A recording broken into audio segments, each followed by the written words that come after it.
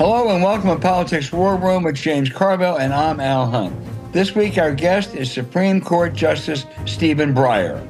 Remember, we love taking your questions, so write into politicswarroom at gmail.com or send a tweet to at Politicon for next week's show. Now, we're going to get to as many as we can, but don't forget to tell us where you're from. Please check out the link to our sponsor, Miracle Made, in our episode show notes. We thank you for supporting our sponsors. It really helps make this podcast happen. Please tell your friends about us and remind them to subscribe on Apple Podcast, Spotify, or wherever you get your podcast. Hey, James, I first met Stephen Breyer more than 45 years ago when he was one of those extraordinary Edward M. Kennedy staffers. He was then working on airline deregulation. And I have been in awe ever since, including his 28 years as a justice on the United States Supreme Court. Uh, welcome, Mr. Justice. We are so Thank you very much. It's very nice. Thank you for the kind words. You have written a new book, Reading the Constitution Why I Chose Pragmatism, Not Textualism. What, t- explain it, and what do you intend for this to convey to aspiring lawyers and concerned citizens? Well, what is a job? What's the job that the Supreme Court mostly does and appellate courts mostly do? When I have to explain that job to, say, a fifth grader, and I like to talk to fifth graders, they're fun. I say, I read, which is true, in the newspaper, a professor of biology was traveling from Nantes to Paris. He had next to him a wicker basket. The conductor opened up the wicker basket, and there were 20 live snails. The conductor says, Have you bought a ticket for the snails?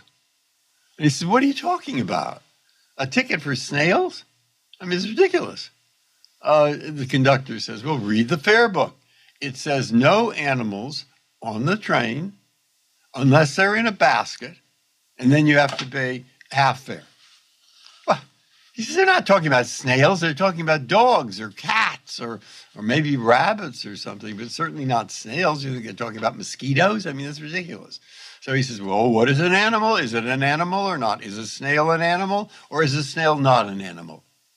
And he says, That's beside the point. So I say to the class, What do you think? I say to the fifth graders, What do you think? Does he have to pay the fare or not? And that I don't have to say another word, not another word. They get into the most tremendous argument. Half of them say, yes, a snail is an animal, it has to pay. He said, no, they don't mean that. And I say, okay, I can go and I can just sneak out of the room and leave them to argue. I said, that's what judges do. They don't use snails, but the freedom of speech. Does that apply here? Doesn't it? What does it really mean? The right to carry arms. What does it really mean? They have to, just like the conductor or just like the professor, they have to figure out what those words in the Constitution or in a statute, what they mean, how do they apply. All right? So why write that since every judge knows that? Why write this book? Well, I think, as you can see, it's a rather hard question. Maybe snail's an animal. Is it an animal for purposes of the fare book or not? Is it obviously not, or what? Well, it used to be. In answering that kind of question, a judge might look at a lot of things. One, read the text. It says animal, read the text. Hmm, hmm. Uh, if it says carrot, that doesn't mean a fish. Okay, I agree with that. But that isn't getting us very far. So judges used to look at a lot of other things. They'd say, someone wrote these words in the statute. Someone wrote this uh, Constitution. And what did they have in mind? What was the purpose? What's the purpose of these words? Okay? Or um, are there human rights involved? What are the values? Or uh, what are the consequences? Or uh, what was the history of the bill that became the law? Or uh, and I could go on. But more recently, uh, in the 21st century, probably, People came along who were judges or lawyers or law professors, and they said, You should just read the words. Just the words. Nothing else. And we make you four promises. One, if you just read the words, you'll get a simple answer. Two, if you just read the words, Congress will know better how to legislate. Three, if you just read the words, well, it will be fairer because all the responses and answers and interpretations will be the same. And if you just read the words, those judges will not be able to sue, substitute what they think is good for what is the law.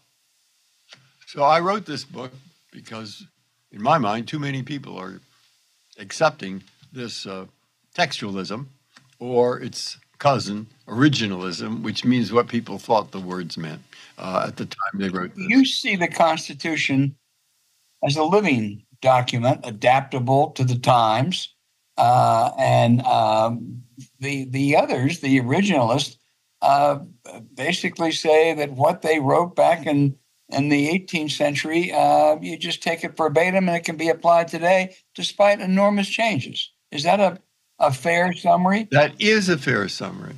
Know, I say, oh, I see. You go back to what the reasonable person thought the words meant in 1788 or 18, say, 69 or 70 after the Civil War, when the Civil War amendments were written. I see, you do that. You do that.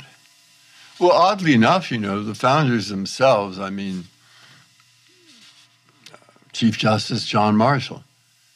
He said this, this document is meant to last for the ages and deal with problems only dimly seen. It's not just for the people who are now alive and participate in the political process. And by the way, do you know who did not participate in the political process? What percentage of the country do you think in 1789 did not participate in the political process. True. No women, no slaves, no non property owners. It had to be very few. That's right. And uh, there were no women there, absolutely, not the slaves. And that certainly was true of all these. So you're getting a rather limited version of what this political process was producing. And then Nino and I used to debate this all the time, Nino Scalia. We went to Lubbock, Texas good school. They've probably never seen a Supreme Court justice. And they may have thought it was a football game because they just about filled the football stadium. And what they would learn is that Nino Scalia and I were good friends. But they also learned we had very different points of view. Yeah. Now, I would try to make you know, your one thing I love about this about about you and the Stephen Stephen is you keep citing cases going back to John Marshall and current cases uh, and and and translate that into the point you're making. But in 2006, after a series of sweeping court decisions, you famously said from the bench, "It is not often in the law that so few have so quickly changed so much." And two years ago, you reaffirmed that. And I'm just thinking surveys like the University of Pennsylvania's Policy Center find a dramatic shift in public attitudes towards the court. They say more people now see the court as politicians in robes. Is that attributable in part to those few who change so much so quickly? It's a, a lot in that question. When you write an article and you know that the person who is you're quoting has changed his view, to what extent do you put that in the article? Ah, you think it depends on who the person is? Do you think it depends on the subject? I mean, the fact that there have been changes sometimes do call for changes in law, and sometimes they don't. And the discipline is not computer science. It isn't hard science. And what a judge is doing is trying to have a sensible interpretation of those words. What do they mean? And so there's no absolute answer to the kinds of questions you're asking. When Nino and I would debate, I would say, you know, it says the freedom of speech. George Washington didn't know about the internet, did he?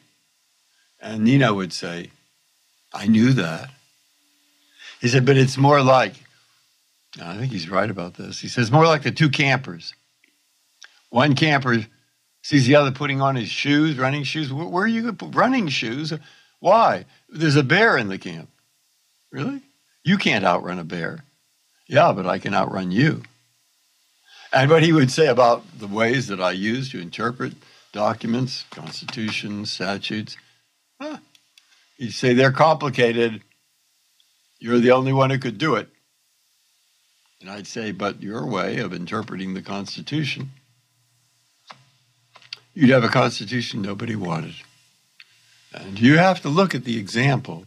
You have to look through this book and see a lot of examples before you'll be willing to accept what I say or what he says. Yeah. And that's why I've written it this way.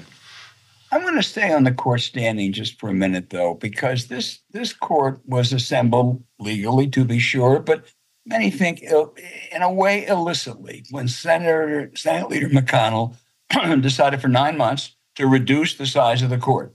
He didn't even allow a vote on Merrick Garland, a Democrat. And then four years later, uh, he rather recklessly rushed through the nomination of a Republican, Amy Coney Barrett, in a matter of weeks before an election, having nothing to do with those two people, although it does have to do with McConnell.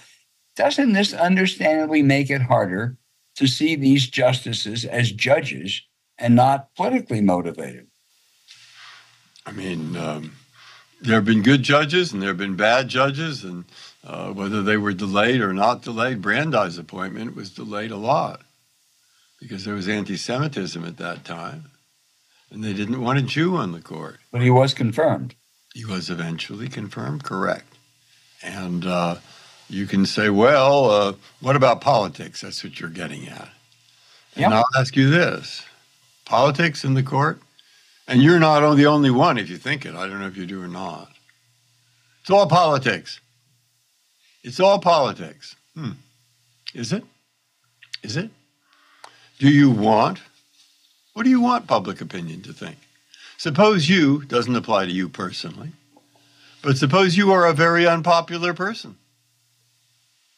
Suppose you're accused of a crime or something bad. Suppose you're going to have a trial. Do you want that judge to be very sensitive to politics when he's ruling in your case if you are an unpopular person? No.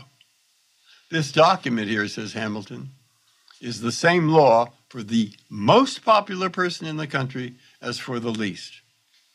All right? Now take the opposite side, which you were taking. I'll take the opposite side. Mm-hmm.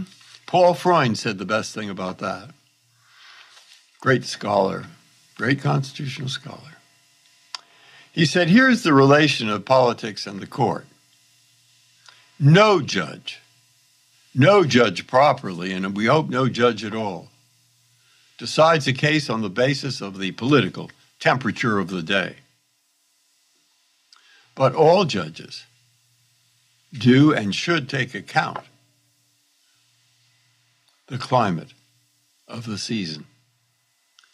That's a great statement because nobody knows what it means exactly, but nonetheless. That's why it's um, great. yeah, yeah, of course, of course. But uh, you see, the New Deal court, the country had changed a lot from the time 50 years earlier or 40 years earlier when the court had decided that Congress could not pass a min- minimum wage law, maximum hour law, it had changed a lot.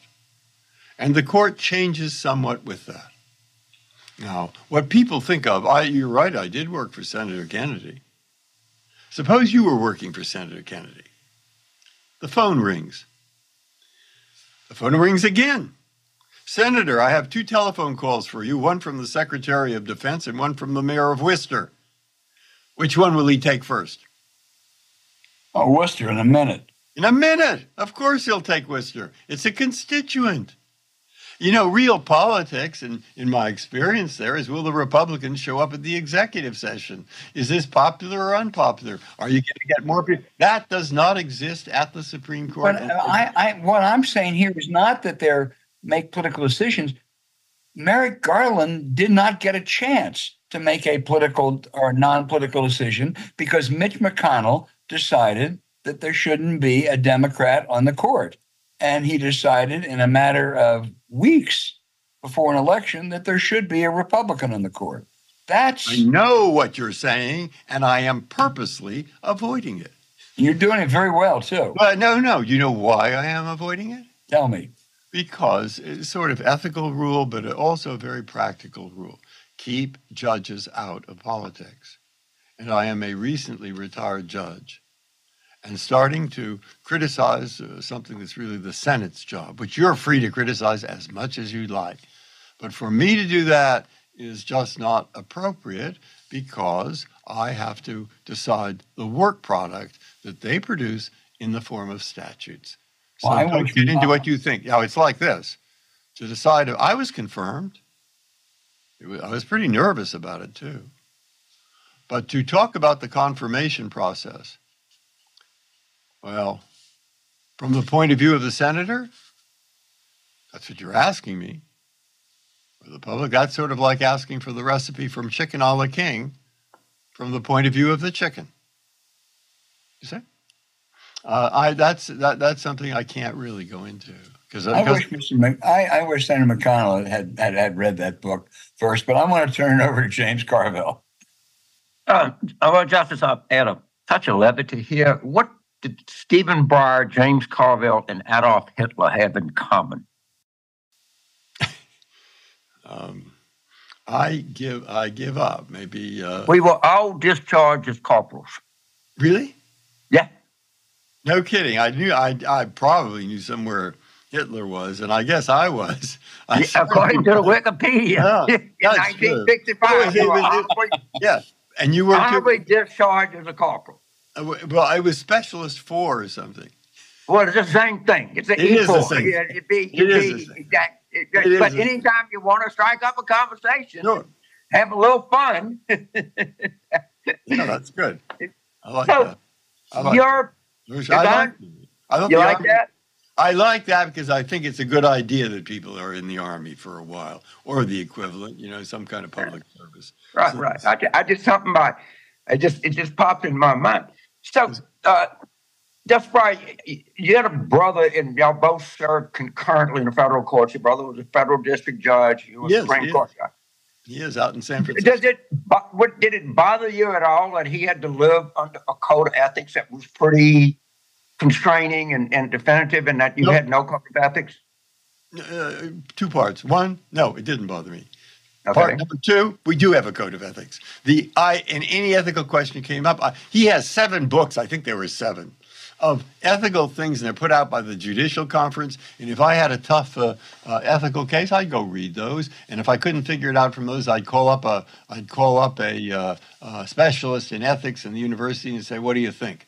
And uh, uh, so I think I think the other judges did You, something. you, well, okay, I, I'm may it please the court, but Yeah. Yana, we've seen instances with Justice Thomas, Justice Alito, and Justice Gorsuch where uh, you, you had an internal code of ethics, you would check with it. when the you opinion of the court, the public opinion of court is deteriorating. And to the average person doesn't understand why there's no written parameters of a code of ethics for Supreme Court. It is there. The seven volumes are there for every judge if he wants to use them. And by the way, my my my brother, who is a district judge, what they can do to him if he does something unethical, which he doesn't, except when he was four years old and used to throw uh, things at me in my crib or whatever. But but since then he's reformed. Okay, so if he does something that he shouldn't, you can impeach judge. But that's it. It says you serve during good behavior. Now that's the same for all the judges. It's uh, federal judges. It's the same for all federal judges. Not something special in the Supreme Court that I'm aware of. So, but the, the, the, the opinion of the Supreme Court has deteriorated rather noticeably. Does that bother Chief Justice Roberts? Does that bother Alito? Does that bother Barrett or Kavanaugh? Uh, uh, Or to just say to hell, we got a lifetime appointment. We don't really give a shit what the public thinks about it. No, they don't think the latter, of course. In my opinion, I can't see into their minds. But how do you think people felt? How do you think they felt about Dred Scott? How do you think people felt? There have been a lot of mistakes that the court made. The court, you know, I I tell you a secret. Don't tell anyone I said this. But American institutions are not foolproof. They're sort of the best we can. And you will find you will find flaws in one after the other. And you'll say, why did they do that? And the answer will be maybe we didn't think hardly enough, or maybe we didn't, or maybe da da da da da da. But if you want perfection, I don't know where you're going to go. And it wasn't even when I was a corporal in the army. It wasn't. I, I, I, all right, Justice, I'm not asking for perfection. I'm saying the opinion of the Supreme Court when I went to law school, Yeah. or even at the turn of this century, was pretty high. It was not that no long. Hey, when I was a law clerk, you know what? Okay. That was 10 years after Brown versus Board had been decided. And Right. it was only a few years. Uh, uh, it wasn't even the law yet, in a sense. It was the sense it was the law, but there were people all over the South. You remember impeach Earl Warren. I, I, I You remember those signs going up everywhere. You Again, I, remember Little Rock. I, I, just will say, sir, that the opinion, the confidence in Supreme Court has deteriorated in this century. I, I, mm-hmm. I don't think I- that, that- I think that's a fact. And I, and one of the things that I believe, I think that we have now accepted the fact that, with the exception of Barrett, who went to Notre Dame, everybody in the Supreme Court went to an Ivy League school. No one ever ran for sheriff. Okay. And do you think there's any value in having one or two politicians on the court that maybe have a lived experience sometimes that people like people most of the time in the judiciary don't? yes. Okay, well, I got you to agree with something. I look, if I didn't agree with you, why did I write this book? In writing this book, I'm saying what is not pure politics, but Right. it is what they decide on the basis of. And there are a lot of people. Hey, what do you want? Let me see. I wrote this down, page 60. This is good.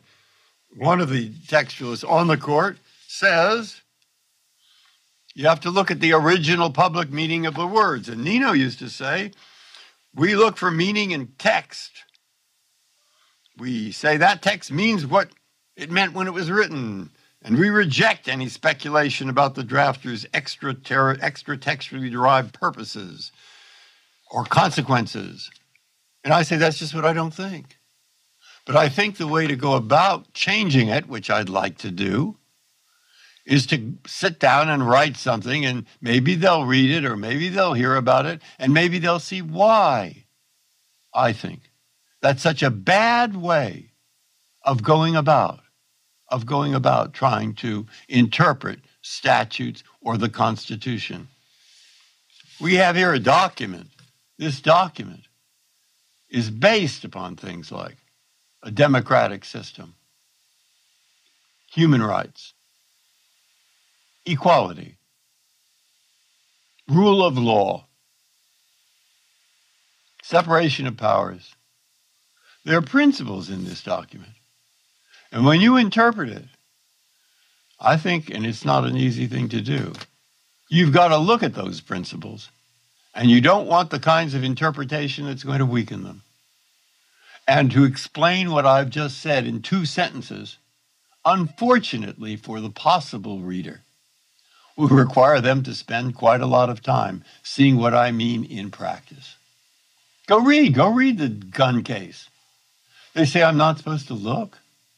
I'm not supposed to look at the actual facts about guns, at the actual consequences when we have 400 million guns in the United States.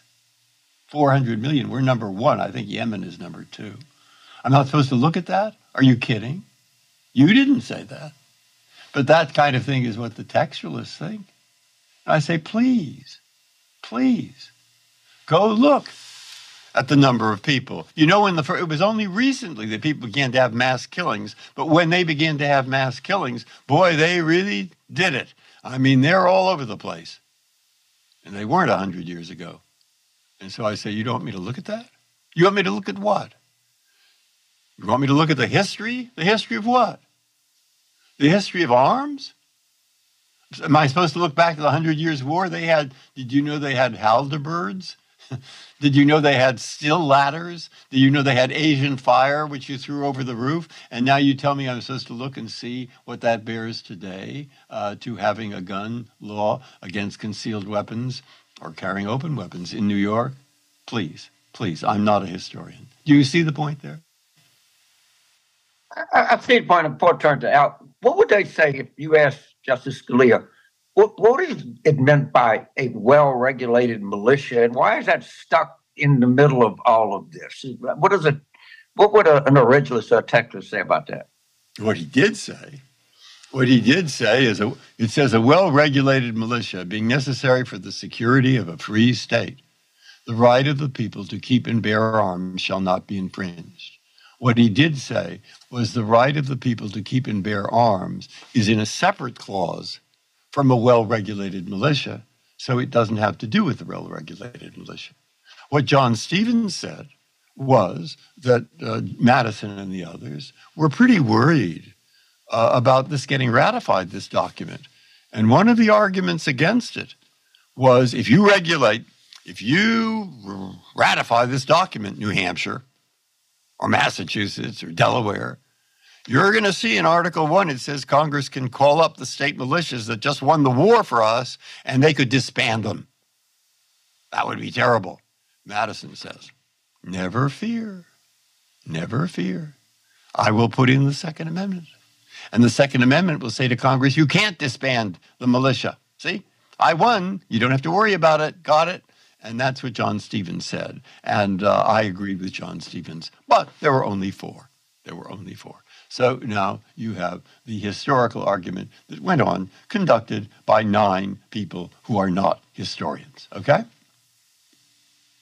You wanted to know. You're the one who asked the question. I am. I'm, I'm, I'm like a biased Supreme Court judge. I expect to get an answer. well, you got an answer. that's what it was. There were, there were different views. That's what they said. And by the way, oh, this is interesting to me. it's interesting, might be to you. In the in, in the last case, a bunch of sort of linguistic historians wrote, and they wrote and told us that between 1760, I think, and 1780, they found about 120,000 references, maybe 160,000, to the words bear arms. Okay? And almost every one of those referred to a militia, not to hmm. the right to carry a gun under your pillow. Now, that's the kind of thing that interests the judge, you see, but particularly in history. I don't guarantee that uh, uh, it's of interest to you, but I, I think it, yeah, I think it's a great interest. I, I, I, wish I, wish those other judges had, uh, right. had read that. You know, Mr. Justice, you took issue with me one time when I referred to it as the Republican court. Um, and, and I know that that displeases you. Yet every major decision in the last 20 some years, Bush v. Gore, the Heller gun decision, Citizens United, Shelby County, gutting voting rights, Roe v. Wade, the affirmative action at, at Harvard, ending affirmative action uh, at Harvard and University of North Carolina. These are all out of the GOP playbook and all have been celebrated by Republicans. So oh. why am I so wrong to call it a Republican court? Now, that's sort of a political question, which I probably shouldn't answer, but I think I will. the, the, the, what you have not taken into account is Roe v. Wade was written by a person, a judge, who was appointed by a Republican. You have not taken into account different that, Republicans back then. Oh, I see. Okay.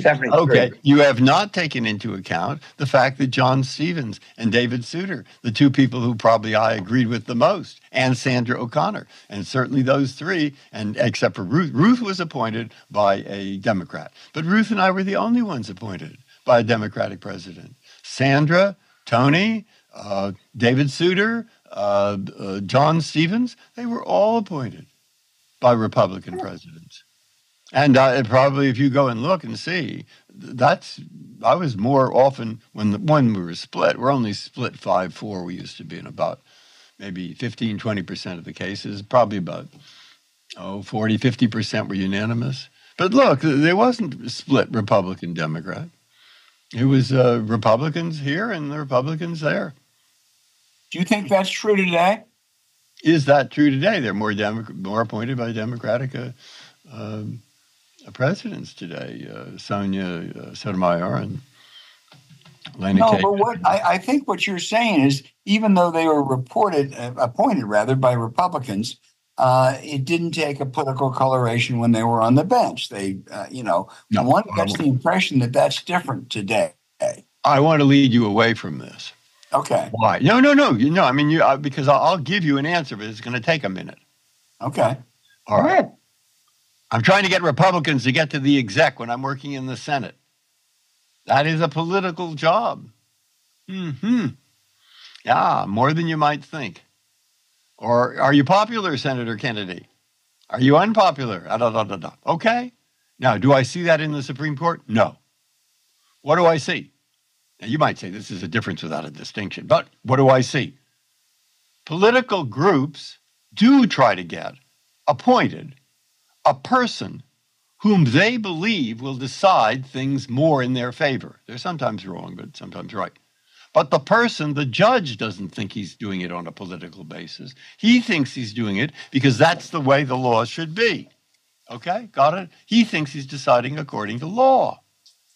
And that's why I wrote this thing. I wrote it the way I did because I want to convince him he's not. All right, that's one.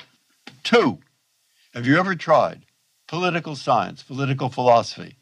It bears a resemblance to politics, but it isn't politics. Three, do you think you are affected by where you grew up? Do you think that our colleague here was affected by being a corporal in the United States Army? Yeah, he was. And uh, so was I. Do you think I was affected by going to Lowell High School in San Francisco, a public, good public school? Do you think I was affected by my father working for the school board? Do you think I was affected by living the life I have? Yeah. Do you think you can just get rid of that when you're on a court and a judge? You can try, and people do try, but you can't get rid of it completely. You're affected by your background. That's three. Four, it's what Paul Freund said. Paul Freund said, no judge is affected by the temperature of the day, but they're all affected by the climate of the era. That's why the New Deal court changed. Five, you have real politics where I think it was real politics when Frankfurter told the court, don't decide the miscegenation case now. The South is bad enough at the moment, they won't do it. Let's wait for a while. Now, that's politics. And they did wait, and they did eventually decide it in favor of uh, uh, the civil rights side. With a bunch Six. of elected politicians making Six. that decision. Yeah, yeah, I'm not against that. I'm not against. I know you're not. Six. no, no, you you've written yeah, that as right. a matter of fact. Yeah, right. right. Six, six, and this is where the toughest one is, and you may get an answer. Read what President Taft, when he was Chief Justice, wrote to Justice Sutherland. He said this. He said, "Of course, I would like appointed to the court, someone who's knowledgeable as a jud." But I'd also like that person to know something about what he called the higher reaches of politics. Because the court is not just an ordinary institution like another court, it has something special about it, being part of one of three branches. And what that special thing is, and when it appears, and how it appears, I call X. I call X because I don't know quite how to describe it. But when you started out with your initial question, isn't this all just politics? Which was not your question, but close enough. My instinct is to say no.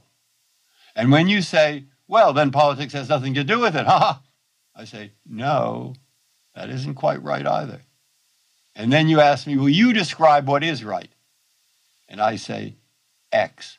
And I've only been there 28 years, so I ought to do better than X.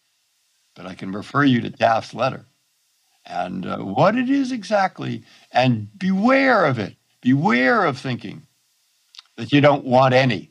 Maybe we'd still be a segregated country. Ha! Beware of thinking that you want too much. An unpopular person wouldn't get a fair trial.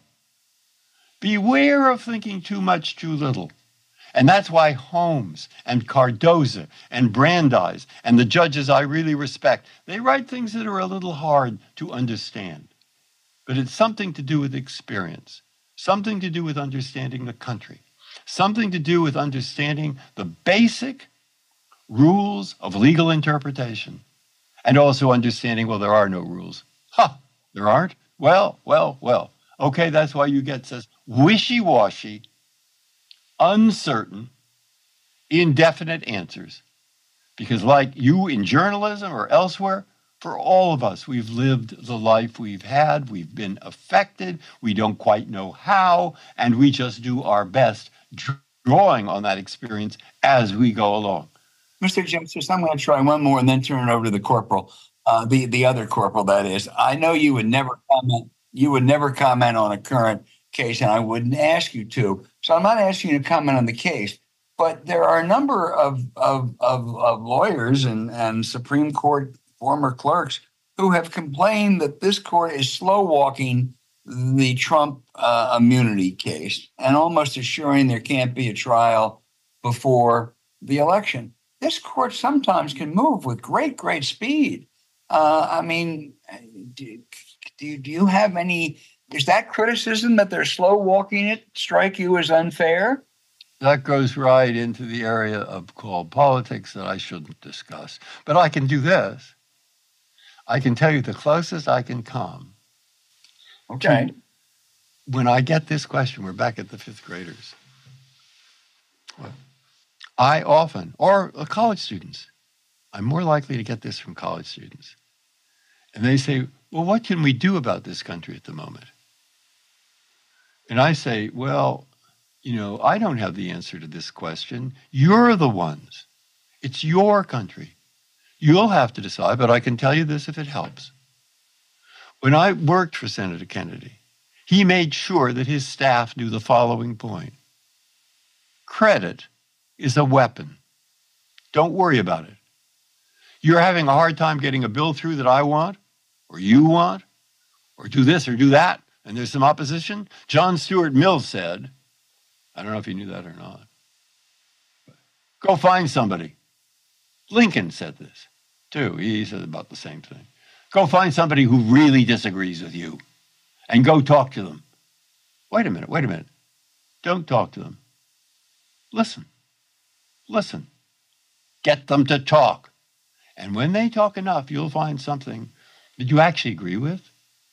And when they say that, you say, Oh, what a good idea you have. What a good idea.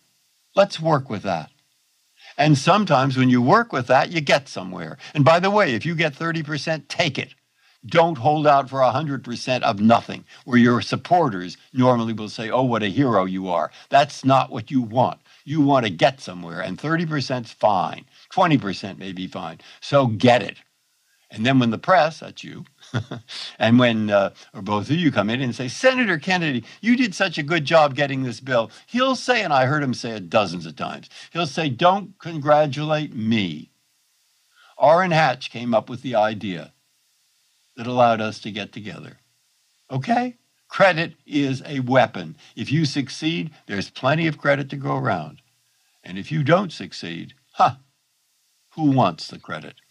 That was the brilliance of Senator Kennedy. There's no question. I and it's and I say that to these students, and I'll right. tell you, I look at them when I say it, as you do when you look at somebody when you're talking to a group, and you want to see if they're taking it in, and they are, because they want something to do that is going to help this nation to get together. And I say, if you don't believe me, you don't have to believe me. But during COVID up in Cambridge, they had groups going around seeing if old people were okay, see if they had enough food. And I think that's true in St. Louis. I think it's true in, in you name the city, because Americans are not so bad at finding projects and getting together.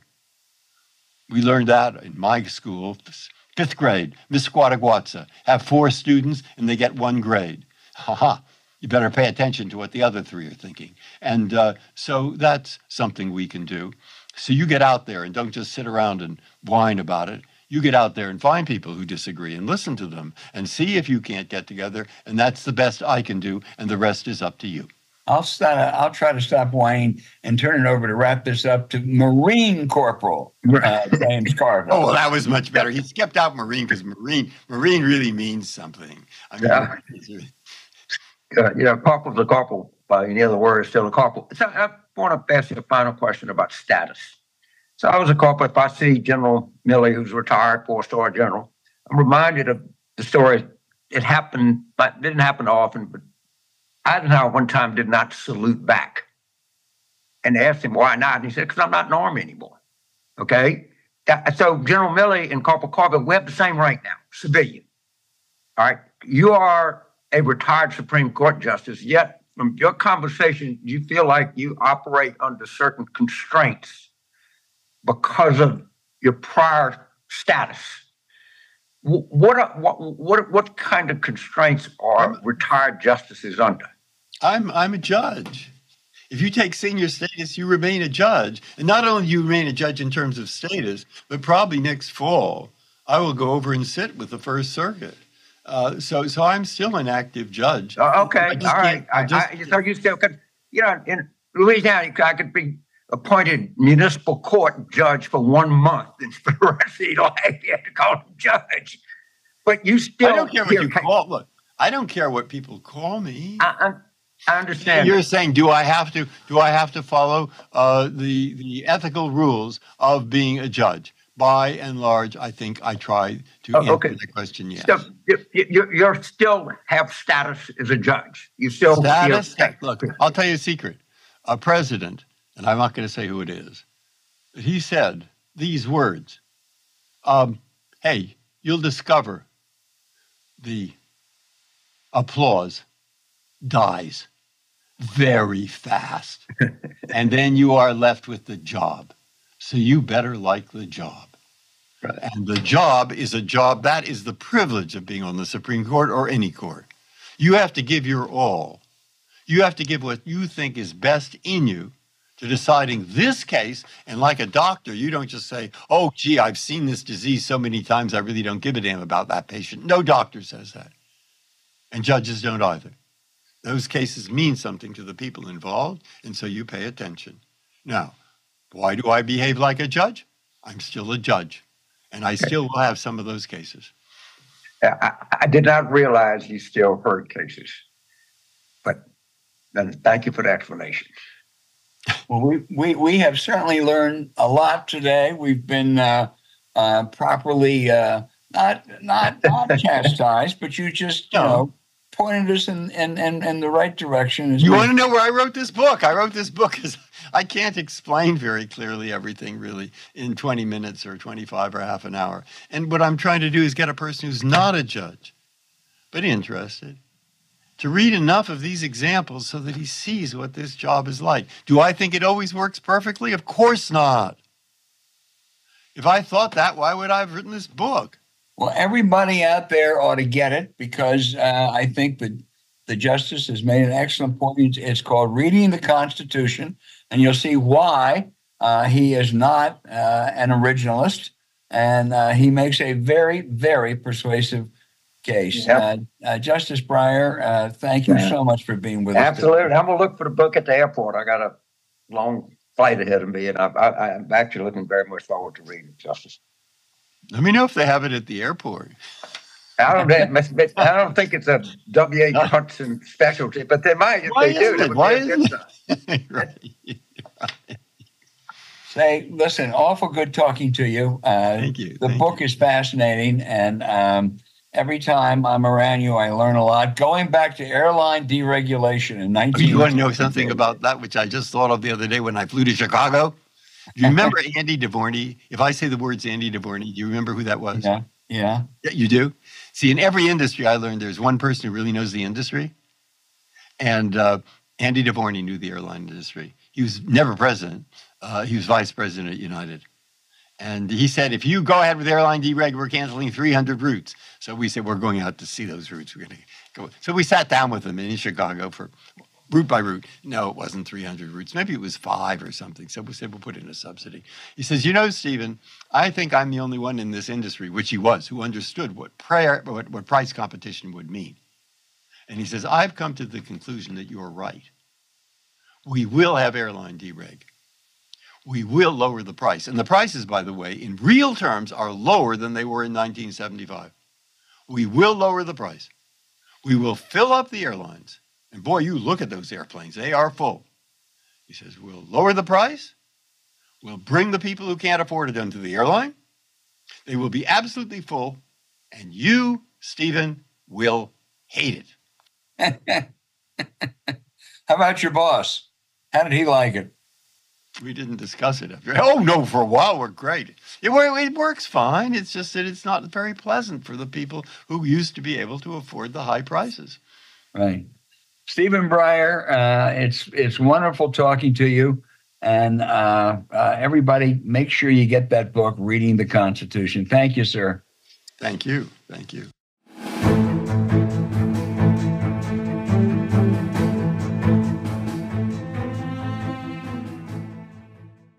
Take your bedroom game to the next level with Miracle Made Sheets. Let me tell you, it's really, uh, really effective too in getting a good night's sleep. That, I, I just say I'm traveling, I don't have them, and I can tell a difference.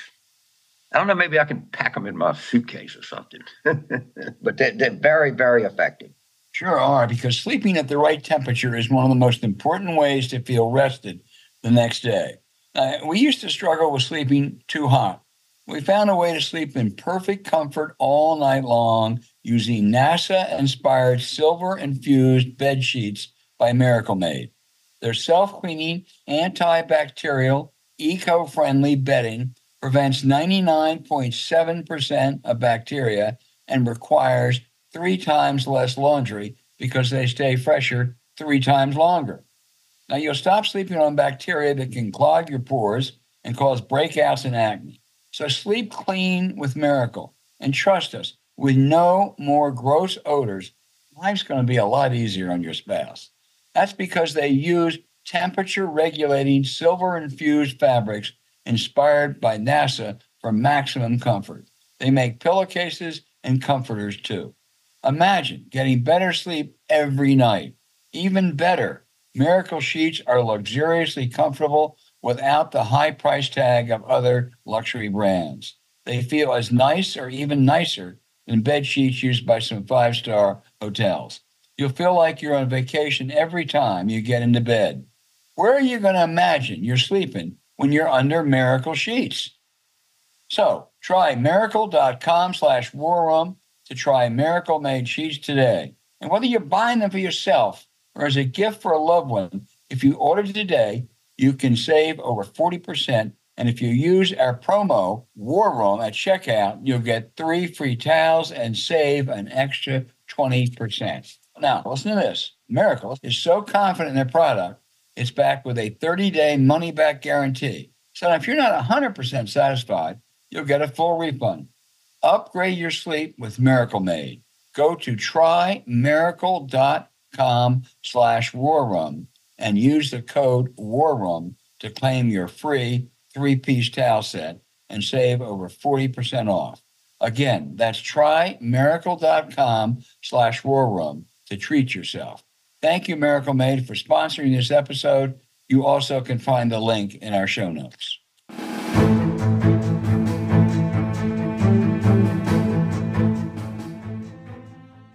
James, uh, Israel killed top Iranian officials um, in Damascus. Uh, was a targeted attack, effective, a key objective. I'm afraid more important in the longer run will be, and more harmful, was that the Israelis killed seven World Central Kitchen workers bringing food to starving people in Gaza. Netanyahu said it was a mistake, an accident, the fog of war. But it's going to only accelerate the anger and opposition to the Israeli carnage in Gaza. It's going to do it in the region, around the world, in America, and in Israel. Uh, obviously, you know, we both agree Israel had to respond to the October 7th terrorism of Hamas. But now it's becoming counterproductive. Bibi says he wants to wipe out Hamas, and while he's certainly crippled their war making capacity, he's not going to eliminate them. And think of all the 8 and 10 and 11 year olds who watch their innocent parents or grandparents or siblings wiped out by Israeli bombs who are future terrorist recruits. You know, the final point, James, um, the hostages are a huge deal in Israel. There are massive demonstrations. We don't know how many are left, probably as many as 100 or more that Hamas is outrageously uh, keeping captive. But they are never going to get home safely, never, and alive as long as Netanyahu keeps up these attacks. Well, I talked to a lot of people, and no one has any idea how to end this thing. I mean, there's no Netanyahu does not have public support in Israel, but this war has overwhelming public support. But um, know, people say when we get the hostages back, you, they're not going to give you those hostages back without some staggering, staggering concessions. I don't think they're willing to make that. And I, I, I this is I've never seen a, a conflict more depressing in many ways than this. That because I, I, I just don't see how it ends. I, I, I guess maybe you, the grand deal, you know, the, you put buffer zones and two-state solutions and massive aid to Gaza, and I, I don't know. It's just somebody, just anybody, please, someone, just tell me how this thing can possibly end, because no one's been able to tell me that. Well, I think you've laid out as as good of the bad solutions as as might be possible. You're right. They're going to have to Israelis to get those hostages back. Will have to make huge concessions. Not only are they going to, you know, stop the war right now, but they're going to have to release a whole lot of uh, Hamas prisoners, many of them terrorists. They've done that before. They've done that before in a 5, 10 to 1 ratio. They're going to have to do it again. But right now, you're right. There is support there's no there's no support for Bibi in Israel, and there is support for the war. It's lessening. The demonstrations are increasing. The hostage issue is becoming central, uh, and I think that there's there are indications of splits within the cabinet he's put together. Uh, I, you know, I suppose he he wants to out of jail, uh, James. So so he'll take this thing as long as um, as he has to, but boy, I, I, I, think it's just getting worse by the day. You know, and I, we're against the clock here because the Democratic convention, I think, is early August in Chicago. Right. And we don't want to think about this. If this thing is still going on, I mean, in the one thing U.S. politics, it is being characterized by many people as Muslim U.S. citizens and Ivy League students. It's way deeper than that. Way deeper than that. In fact, it is so deep that the Israelis sent an emissary, a right wing, you know, Netanyahu got to see Trump. Trump told me at the end of the war. they thought they had the greatest friend in the world, Donald Trump. He won't fool with this either. This is how bad it is. Yeah. yeah. I mean, it's, it's, it's bad. There's no. I had a one of my former assistants who's you know, utterly brilliant, has family in Israel, is not is definitely a Democrat, definitely a left of center Israeli family, and they don't want to stop till till Harash is arrived. I mean, it's clear to me that a lot of people want this thing to go on. Well, I, I as I said, I, I hear that's beginning to change. I mean, still there, but it's beginning. Those demonstrations are massive and they were about getting the hostages out. And James, well, that has to do you don't get the hostages out as this thing goes on. That, that's a huge issue in Israeli politics. It was a huge issue at, at, the end of the last century when I was there, and that is the Haredim. You would think of the Orthodox, kind of a sect of Judaism, and they don't serve in the military. Right. And it is a sore spot in internal Israeli politics that is difficult to overstate and that's the one thing that could screw Netanyahu's coalition up.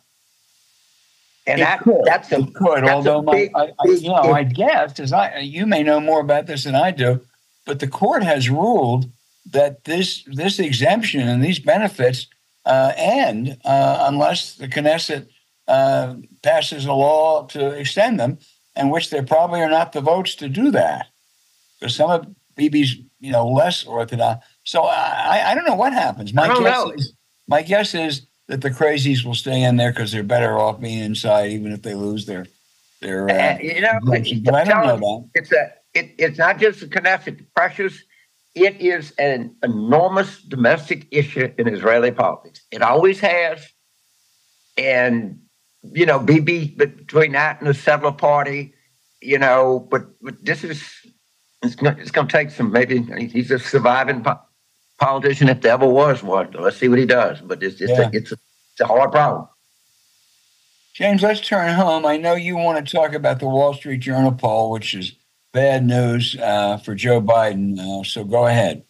I, I, don't really.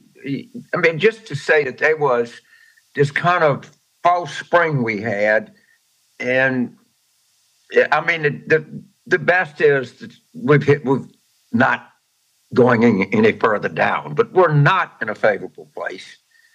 It, nothing really to say the union being great. Trump's every kind of freaking thing can happen to somebody. The the, the fundraiser, the whatever, but it, it, it just doesn't move. And hopefully, you know, hopefully it does. Watching any indication, any any shoot of hope, yeah. and people have them, and then this was just a kick in the gut. But I'm not surprised. I, I mean, I talk to people, you know, I can't tell you, I mean, got doctors are polling all the time, and they don't see it getting better either. But uh, you know, then the young numbers are are, are just are, are horrific. And I, somebody has got to think of something the way to re-engage young people. And the black numbers horrific, and uh, I, we got to think of something. Well, I have a slightly different. I, I, don't. I certainly don't dismiss the Wall Street Journal poll, although it, it, it clearly is no longer the gold standard it once was when Peter Hart and Bob Teeter were doing it. But still, it's a decent poll. But there are a few others out this week. Marist and Morning Consult that actually show Biden with a slight lead. That's two ways, though. Look, I think seven months out uh, in a three or four way race, is which is what it's going to be, Trump starts with a small advantage, unquestionably. There are several potential altering events. I think first, there's almost nothing, almost nothing Biden can do uh, to improve his position by himself just you know don't fall and wage some effective attack ads. I think, however, it may be different with Trump. He's acting crazier and crazier. He again called undocumented workers animals. James, just as an aside, this is the guy, Donald Trump is the guy who makes fun, makes cruel fun of people with disabilities or who stutter. And his son, little Donnie, uh, when John Fetterman, who had suffered a stroke, was elected to the Senate, uh, said the Democrats had just sent a vegetable. I mean, these these are the people who behave like animals. But I think uh, you know Trump is getting crazier, and it's conceivable he'll go beyond the pale. Secondly, Manhattan trial, if he's convicted, he is a criminal. He is a convicted criminal. We have all said it's not as big as the others, but it's also not irrelevant. And thirdly, watch the money. I noticed the guy who is bailing him out for the bond there uh, who I'd never heard of, a California, I believe. He made his money by by um, uh, charging high interest loans to low income car buyers. Boy, that sounds like a Trump person, doesn't it? Uh, yeah. I, mean, I, I find it hard to see how Biden can win. I don't find it hard to see how Trump can lose. Well, I'm just going to move on to Wall Street Journal poll. The, the Democrat side is Dave Bocian. I know him. He's like a 180 IQ guy. He's with Gerstein's firm. There is no more competent pollster. The pollster is as competent as Dave, but they're none more competent. I can personally attest to that. And who was the Republican pollster? It was Fabrizio, who yeah. I. Well, I'll take but, Bob T. I tell you what, I'll take Bob Teeter. Well, I, you know, we don't have Bob Teeter. So I'm right. just telling you, Dave Bocian is, is, good, is, is, as good a, Dave is as good a pollster as you can be in a Democratic Party. I don't know. I, I, I, can't speak for the Republican side. But I mean, I'm not saying it's equal anything. I'm just saying it, I know this. I have every confidence. If he put his name on it, that's a competently taken poll. That's all I'm saying. I didn't say it wasn't. I just said. I know. I, let, I just said it wasn't the gold standard. Right. But in any event, we can. Uh, uh, yeah. You know, we, we can can move on.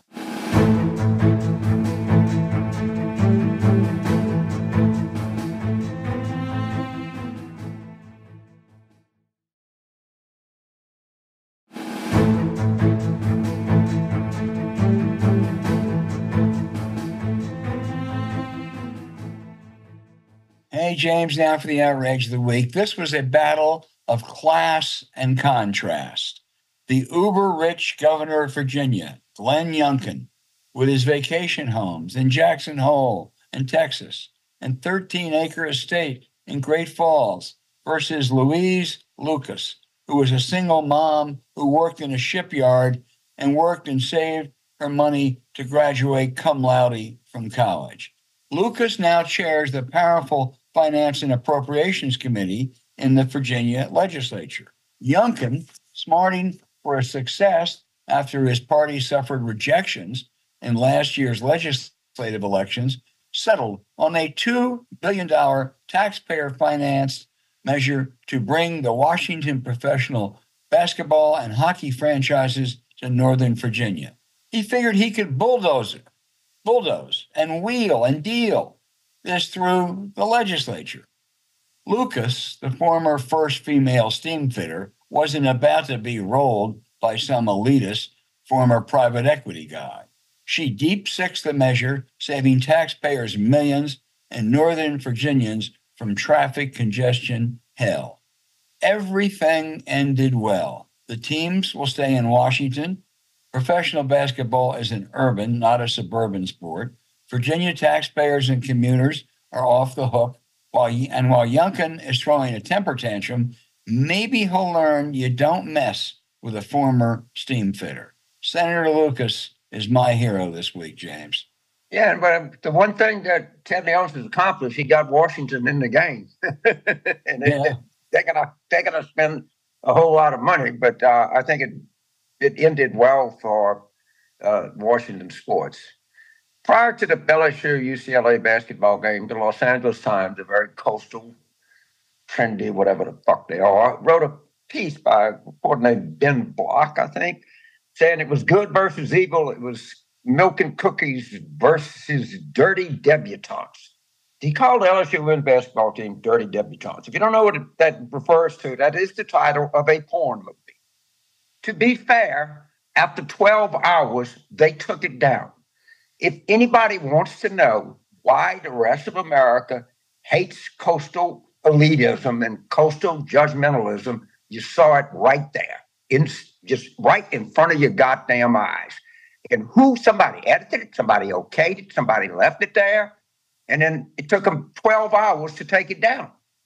And this is the kind of stuff that cost us day in and day out.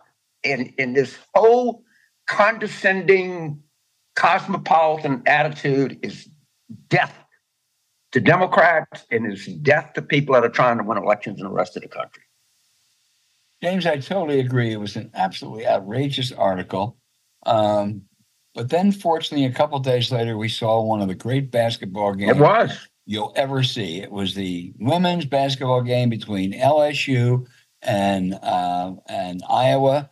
Angel Reese against Caitlin Clark, two of the great, greatest college players ever to play the game. It's just i mean i went and i turned it on at uh, I, eight o'clock whatever time it was 7.30 and I, I i didn't get up to go to the bathroom. It was so good. Uh, i mean it was unbelievable Angie reese had a little bit of an ankle injury but she played a great game. Caitlin yeah. clark you know, i've never seen i've never seen a I, I think she can pass as well as any any professional I, I couldn't agree. I thought, look, and I'll say this: as big a fan as I am, we got beat. There's no, and we got beat by probably the greatest player in history of women's basketball. I don't know. certainly would be in the conversation. Uh, but I think it was good to sport. It was 12 point, 12 and a half million people watched that. That's more than the men's finals, more than the World Series. I mean, the, the, the way that these the whole women's sports thing is growing is unbelievable. I'm gonna tell you the next one the gymnastics is going to start to pile up some really impressive numbers. I, am not going to stay up for two hours watching gymnastics. But you know, I, if I would have said, I would have said five years ago, I wouldn't stay up to watch women's basketball. Oh, I don't know, no, no, no. Okay. Right, I'm not. I'm, I'm, I'm, telling you, uh, gymnastics. I mean, it, it's just gotten better, but it was it was there now. I, what I'm really waiting to see is if Purdue and UConn get in the men's finals, they have to both win uh, on Saturday. I want to see how that ratings compares to LSU uh, Iowa. I, I, I thought it was going to be better. I'm not sure it's going to be. Uh, yeah, I, you know, I, I, I guess in the men's, I, am kind of pulling for North Carolina State. I just love the story and I love the guy. You know, it's it's a better story than anything else. But I, I suspect that UConn might be that good. I don't know that. Well, they are, and the big guy, you know, the big guy from uh, Purdue, Edey, seven feet Yeah, four. They Zach all said- yeah, they all said, you know, he didn't get recruited by a lot of schools. They said he's too slow. Well, I don't know how fast he is, but he's pretty goddamn He's pretty good. unstoppable. We'll see. So That it'll, was great. I think we got a good up, tournament coming up, though. It Yeah. does. It is, and we and we got a great women's tournament. I mean, South Carolina and UConn and Iowa. Wow. I mean, that's some real, real teams in there. No, Oh, great. I wish we would have, but we're not. But No we got problem. Elite Eight, so that's not a bad year. yeah, yeah. Good basketball year.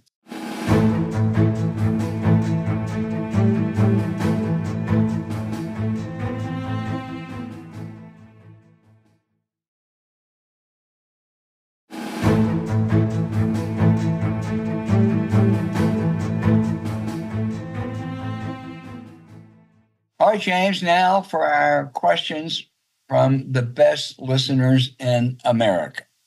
I say that and I really mean it because, gosh, we get great questions. And we're going to start off uh, down under. Anna in Sydney, Australia says, with Trump's cronies taking over the RNC, how long do you give it until they're in court over misappropriation of funds?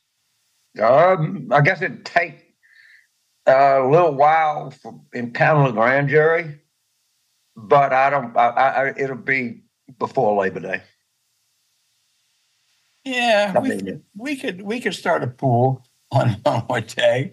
Uh, you know, I might take I don't know August fifth, but uh, And we'll put an over on it. exactly because that's Yeah. what they do. But but you could say it might be August. You know, I'm going a little late. I'm going early September. Um, but maybe they have a thing that they won't announce an investigation 60 days before the election. But they're going to steal everything. And the, if I were defending them, my defense would be you can't steal from someone who wants to be stolen from. I, that, that- that's the um, rem- remarkable thing about people that send Trump money. They know he's going to steal it.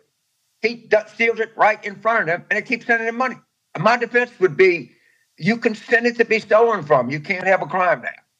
I don't know. I totally agree with you, but don't you think there are going to be some Republican state chairs and committee people and others and and candidates who who aren't going to be happy that the party is no longer the Republican Party? It is only by for Donald Trump. well, can't tell you they're going to be happy or not, but they'd be scared to say anything.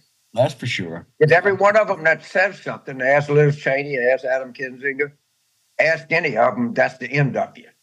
Yeah. They understand this. It's it's hard to reconcile. That's what they want. They want to be stolen from. They want Trump to steal their money, and they're just going to keep sending it to him, and he's going to keep stealing it. Yep. It's that simple. I don't don't ask me to explain it. And there there is no Republican Party, none. There's only Trump people. I mean, yeah, you got some re- retired people. I'm sure that you know Charlie Baker would say something, but it ain't be much. It ain't be much. Yeah. Well, Right. you have the Bulwark people. They are former If they Republicans, ain't Republicans anymore. and well, I know they're former Republicans, and they do great stuff every They single do superb but- stuff. They, but- they, they're one of my favorite sites. Some of my best friends, but Yeah. they're not Republicans. They'll No. tell you that right out the chute. Right. That- that was- Alexandra in Fayetteville, Arkansas. I love this question. Would the right. former senator from Wisconsin, Joe McCarthy, have strong opinions about the modern Republican Party? Or what would Joe McCarthy have to say uh, about the current Trump dominated party? Joe McCarthy would come in loving this. He would love Trump's demagoguery. He would love Trump's meanness. I mean, he said, This is my kind of a guy. This is what I paved the way for. But you know what? Joe McCarthy would be a lightweight next to Donald Trump, and he would be brushed aside uh, in a matter of m- months uh, and be in the dustbin of uh, demagogic uh, history. Yeah, Fayetteville, first of all, that's one of the more underrated places, uh, underappreciated places in the United States. The University of Arkansas, and a tremendous college baseball fans. In fact, we thought Wake Forest and LSU were the two best teams in the country. We both got swept last weekend. Unbelievable. North Carolina swept Wake Forest, and Arkansas swept us. Maybe one as good as we Man. thought. It's what you call baseball, James. That is. That, that's the name of it. And boy, I tell you what, they are really fans. And at the University of Arkansas. I, I promise you, they're as big as we are. Suey Pig. Yeah, yeah. Kevin in New Orleans. Uh, uh, no, I'm sorry. I, I take it back, James. Kevin is from Orleans, Massachusetts, another Okay. great place. Uh, and he, I guess he's questioning you. He said, "Isn't not more? Isn't it more important to focus on Trump's frightening comments on gun violence, family planning rights, abortion, and extending tax cuts for the rich, rather rather than to focus on his body odor?" Um, I, there's a reason that I, we would say more important, of course not. I, I, think that mockery has its real place when it comes to Trump. And I think so much part of his image with his people is that he's a billionaire and he has a you know golden toilets and everything else. So am I telling you that saying that Trump stinks is more important than his criminality? No, but you know you got to have a little fun with the guy. And he does stink, but there's a lot of evidence man does stink, and people don't like stink. You know they had a United flight in the bathroom overflowed. They had to go back home because it stunk so much.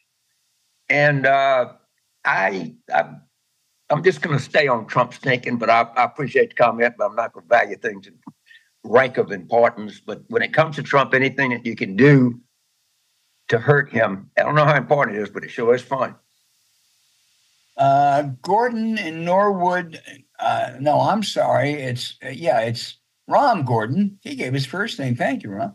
In Norwood, uh, uh, Michigan, um, says uh, I would have preferred that President Biden step aside for a younger candidate. How much of his resistance to that idea do you think stems from the patronizing way he was treated by many Obama era advisors with more polished credentials? Uh, I think that played a role. He was very resentful in 16, even though he really wasn't prepared to run given his son's death. He was very resentful that they all rallied around Hillary rather than him. And he knows that he, he's furious at Axelrod right now. Uh, but I, I think it was larger than that. I think Joe Biden became convinced, and other people told him, you are the one person that can beat Donald Trump. And he is this huge threat to America. Uh, I don't think he was the one person who could, but he won the primaries and he did it very effectively. And I think that had more to do it do with it than any patronizing way he was treated by some Obama people. You know, it's hardly, you know, one thing or the tipping point or something, but I, think that that there is no doubt that they resent, that they feel like they've been looked down on and appreciated. No one thought we could win. Look at all that we've done. Uh, you know, there's a little bit of a, I'm Irish myself. Uh, there's just some Irish hard-headedness here at play, I'm sure. Um, and I, I just what I don't, and of course, I was the same place you were. but I'm thousand percent supportive, but I'm also a thousand percent scared too. So uh, soldier on here, dude. Let's soldier on. Yeah, yeah. Anyway, thank you, Gordon. Uh, Scott in Washington, D.C.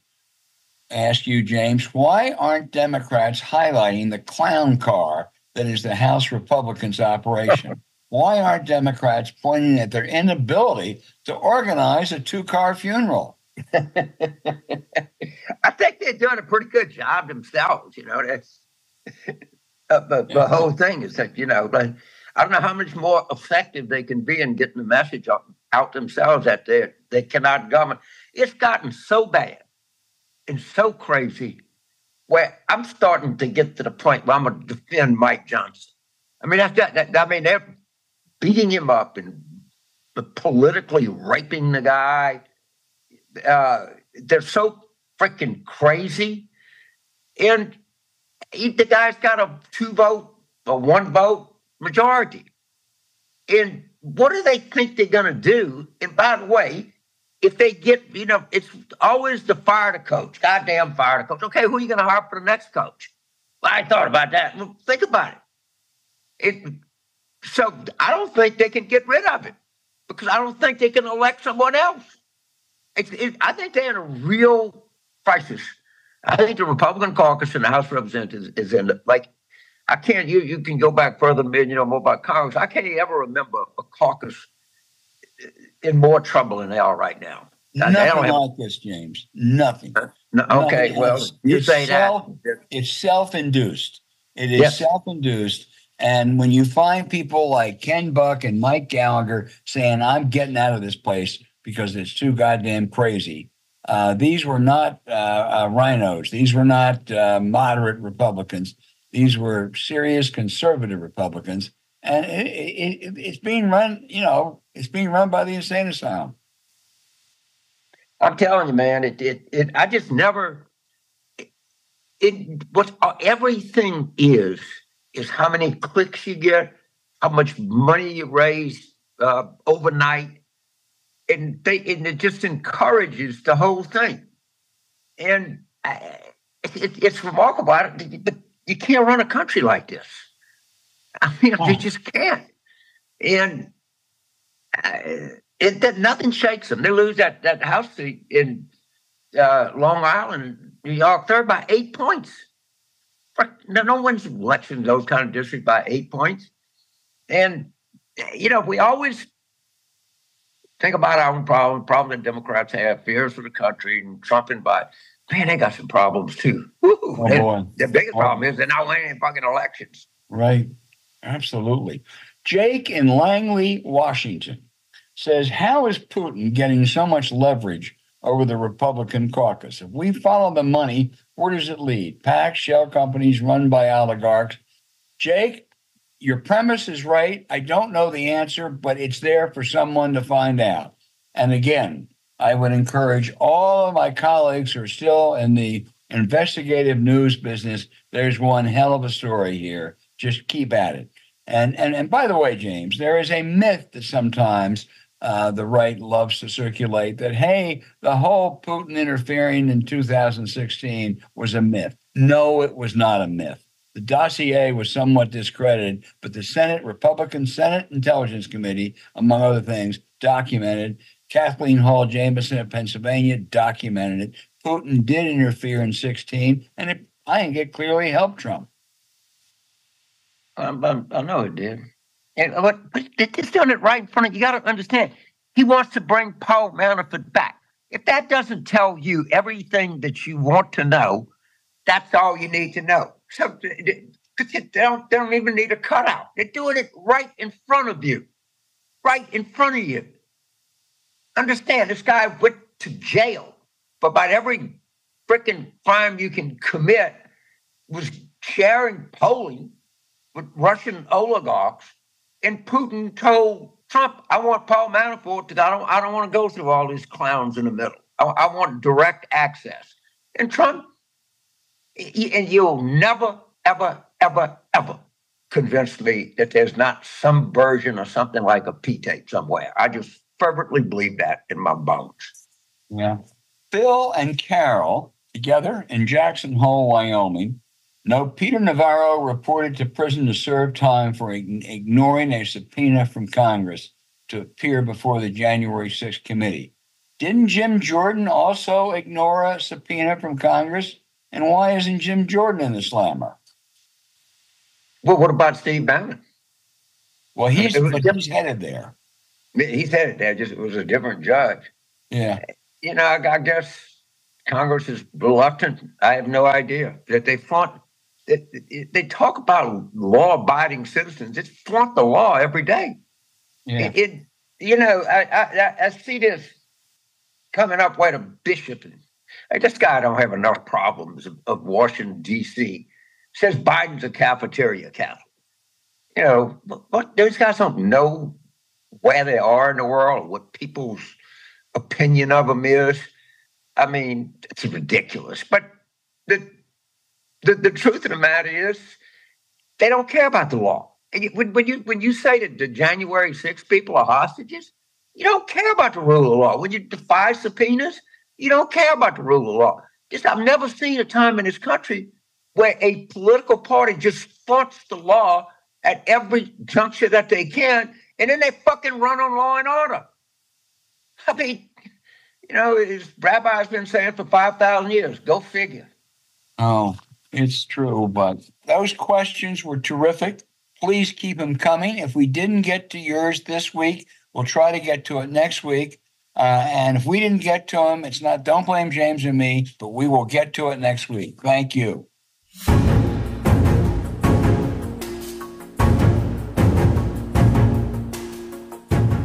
Hey, thanks for listening to Politics War Room with James Carville, and I'm Al Hunt. Don't forget to send your questions for us by email to politicswarroom at gmail.com or tweet them for next week's show at Politicon. Now, following this episode, we'd really appreciate it if you'd check out the link to our sponsor, Miracle Made, in our episode show notes.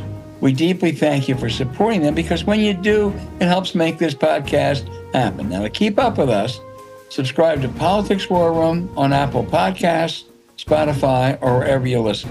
You also can find other shows you might enjoy on the Politicon YouTube channel or when you search Politicon on your favorite podcast sites. And remember, please rate the show with a five star review. We'll be back next week with another show as we continue our War Room planning.